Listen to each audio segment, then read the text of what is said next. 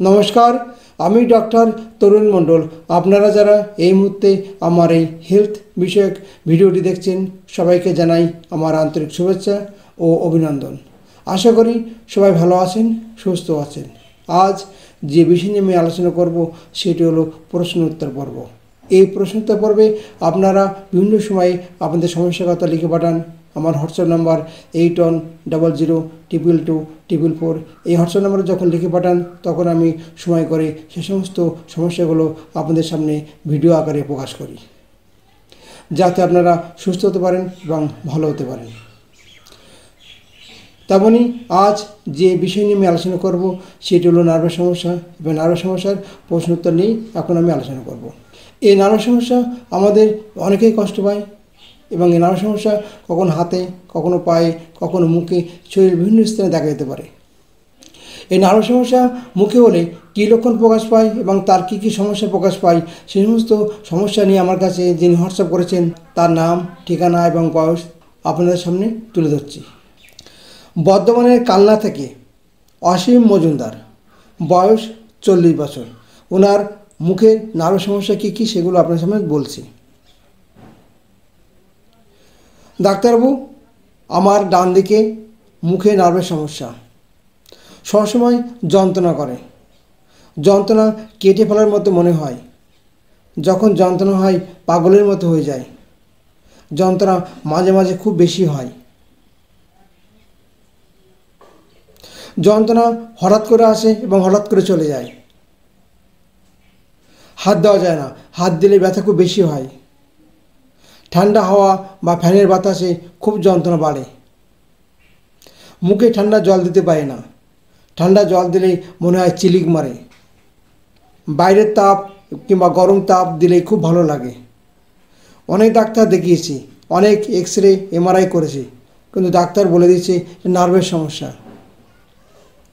আমার এই ব্যথা বিকালে চারটের দিকে বেশি হয়। দীর্ঘ পাঁচ বছর ধরে আমি এই সমস্যায় কষ্ট পাচ্ছি। আপনার ভিডিওগুলো আমার খুব ভালো লাগে। আপনার ভিডিও থেকে আপনার হোয়াটসঅ্যাপ নাম্বার নিয়ে আপনাকে হোয়াটসঅ্যাপ করে আমার সমস্যার কথা জানালাম। কি করব, কী ওষুধ খাব, একটু বললে আমি খুব উপকৃত হব। মুখে নার্ভাস সমস্যা নিয়ে যিনি প্রশ্ন করেছেন, তার নাম অসীম মজুমদার, বয়স চল্লিশ বছর। বহু ডাক্তার দেখেছে কিছুতে উপকার পাচ্ছে না। ঠান্ডায় ব্যথা বেশি করে, বিকেলে ব্যথা বেশি হয়। খুব চিন্তা এই ব্যথা নিয়ে। বহু ডাক্তার দেখিয়েও কোনো উপকার পায়নি, বহু এক্স রে এমআরআই অনেক কিছু করেছেন, কিন্তু তাদের কোনো ফল হয়নি। দেখুন, অসীমবাবু, আপনার যে সমস্যার কথা আপনি উল্লেখ করেছেন সেই সমস্ত সমস্যার কথা আমি বুঝে যে ওষুধের নামটা বলছি, ওষুধটি হলো ম্যাকপস থার্টি। এই ওষুধটি আপনি পরপর তিন দিন সকাল বিকালে খাবেন দেখবেন খুব সহজেই আপনার এই সমস্যা থেকে, মুখের নার্ভের সমস্যা থেকে আপনি সুস্থ হতে পারবেন। দেখুন হোমিওপ্যাথি ওষুধ সবসময় সিমটমস নির্ভর।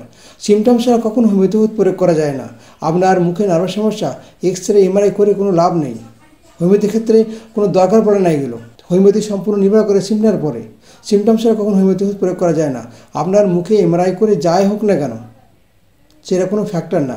লাগবে না কোনো অপারেশান হোমিওপ্যাথি ওষুধেই বিনা অপারেশানে আপনার এই মুখে নার্ভ সমস্যা থেকে সুস্থ হতে পারবেন।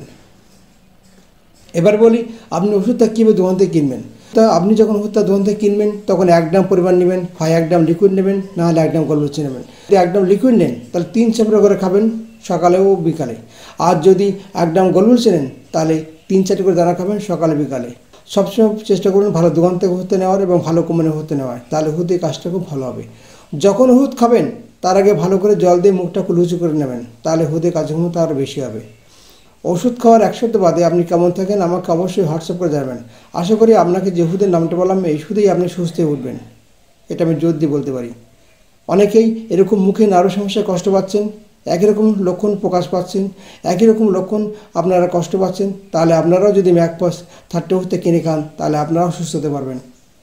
অনেকেই আমার কাছে ঠিকানা জানতে চান যে, ডাক্তারবাবু, আপনার চেম্বারে কী করে যাব বা কীভাবে যাব? আপনারা যারা আমার চেম্বারে আসার জন্য আগ্রহী, আমার WhatsApp number eight one double zero, triple two, triple four, এই হোয়াটসঅ্যাপ নাম্বারে আপনার সব ডিটেলস পেয়ে যাবেন।